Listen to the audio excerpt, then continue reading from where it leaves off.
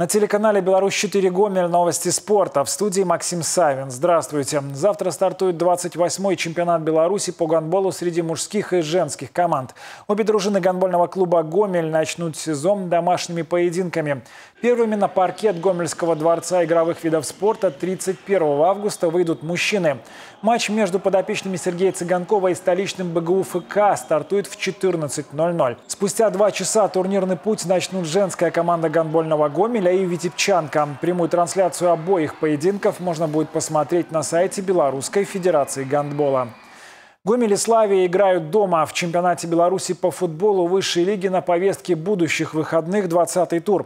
Первый поединок пройдет сегодня. Городея принимает Днепро. Представители нашего региона играют завтра в 15.00 на поле стадиона «Юность». В Мозере начнется поединок между Славией и Брестским «Динамо».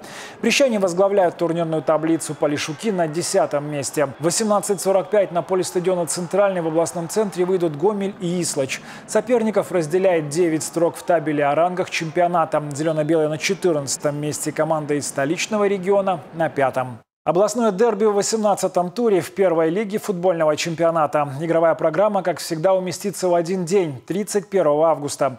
На стадионе «Центральный» в Речице сойдутся «Спутник» и «Гомельский локомотив». Команды в турнирной таблице разделяют 8 очков и 3 строки. Железнодорожники замыкают тройку лидеров, реческие футболисты – шестые.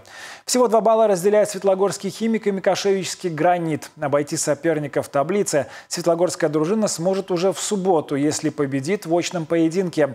Матч пройдет на поле гранита. На этом пока все. С новостями спорта вас знакомил Максим Савин. Оставайтесь на Беларусь 4.